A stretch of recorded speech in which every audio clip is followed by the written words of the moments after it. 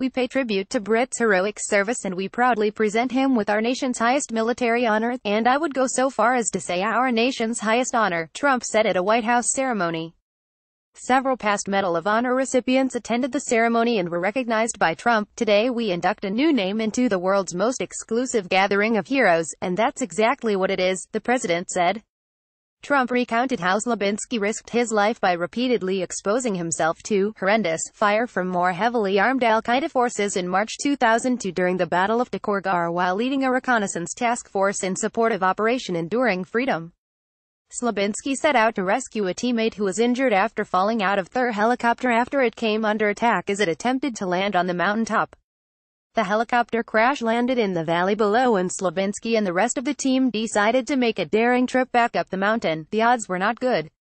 They were not in their favor, but Britt and his team didn't even hesitate for a moment, Trump said.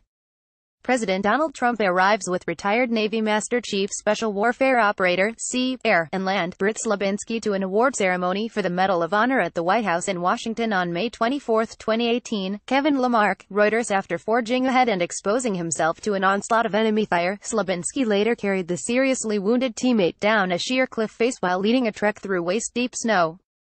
He continued to battle al-Qaeda until the mountaintop was secured and his team was extracted. Slabinski retired from the Navy in 2014 after more than 25 years of service. He said following the ceremony that the medal belongs to so many others, and named the teammates who followed me without hesitation. Slabinski said the medal also belongs to the seven Americans who died on the mountaintop. They gave all for us. This honor is truly theirs. They are the true heroes, he said in a statement delivered on the White House driveway.